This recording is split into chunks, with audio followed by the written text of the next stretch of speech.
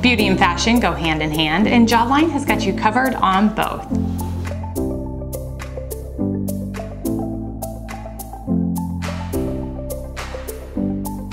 Introducing their brand new nail gloss and at a price that's right for anyone. It's also available in three of the most feminine shades.